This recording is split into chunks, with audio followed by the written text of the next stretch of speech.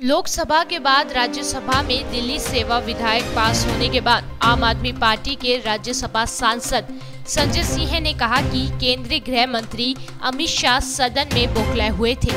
उन्होंने राघव चड्डा का नाम विशेषाधिकार समिति में भेजो वाले मसले पर कहा कि क्या आपको पता नहीं, सिलेक्ट कमेटी में नाम प्रस्तावित करने के लिए किसी के सिग्नेचर की ज़रूरत नहीं। झूठ और अफवाह मत फैलाइए, गृह मंत्री जी। कल भारत की संसद में एक गैर संवैधानिक बिल पास किया गया।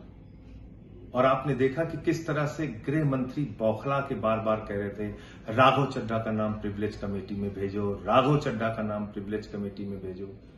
किस बात के लिए प्रिविलेज कमेटी में भेजो? क्या आपको इतनी सामान्य जानकारी नहीं है?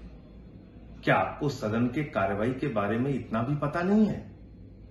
कोई भी सदस्य सेलेक्ट कमेटी के लिए किसी का भी नाम प्रस्तावित कर सकता है।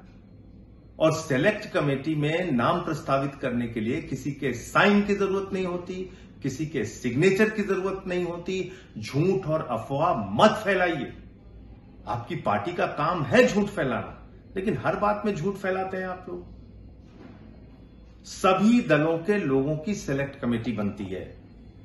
और राघव चड्ढा ने कुछ लोगों का नाम प्रस्तावित किया। अगर उन लोगों को अपना नाम मंजूर नहीं तो उनकी मर्ज़ी है। और आप प्रिविलेज सिखा रहे हैं गृह मंत्री जी।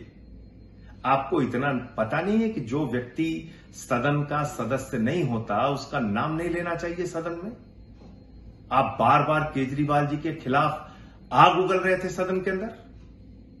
तो इसलिए कम से कम आप लोग प्रिविलेज मत सिखाइए, और अगर आपकी मर्ज़ी है कि पूरे विपक्ष को खत्म करना है।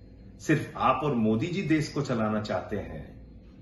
तो खत्म कर दीजिए विपक्ष, किसी को प्रिविलेज कमेटी में भेज के, किसी का, किसी को निलंबित करके, किसी की सदस्यता रद्द करके।